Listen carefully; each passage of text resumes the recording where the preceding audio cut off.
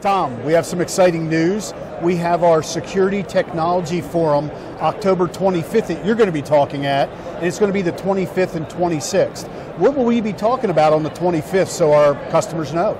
Well, Tom, what I like to do is talk about applications and how we solve problems for actual government and commercial customers. You know, anybody can stand up and tell you about their widgets and how big this thing is and how fast that thing is, but how do we solve those problems?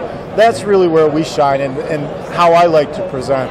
The other thing we'll do is we'll open it up to customers so that they can ask specific questions about our products, Perfect. bring up those challenges that they might have in mm-hmm. their intrusion situations, and I'm there to help them figure it out. Okay, so you're going to be there October 25th, I know, in the morning, and go to our website and register so you see Tom. I'm looking forward to it. Thanks, Tom.